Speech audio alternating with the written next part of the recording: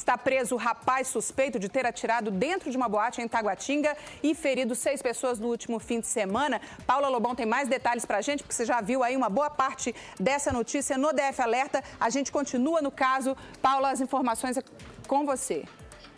Boa tarde, Gláucia. Boa tarde a todos. O Juan Guilherme, de 19 anos, foi preso na casa dele em Taguatinga. O tiroteio foi na madrugada de sábado, mas na tarde do mesmo dia, a polícia já sabia que ele era o principal suspeito desse tiroteio e ficou na cola dele. Ele, sabendo disso, se apresentou voluntariamente na delegacia na segunda-feira, acompanhado de um advogado, deu a versão dele, negou participação no crime e voltou para casa. Mal ele sabia que o delegado delegado já tinha pedido a prisão preventiva dele. Os disparos atingiram seis pessoas, ainda bem, nenhuma com gravidade. Elas foram socorridas nos hospitais de Ceilândia e de Taguatinga. O Juan Guilherme teria entrado na boate armado porque é amigo dos donos.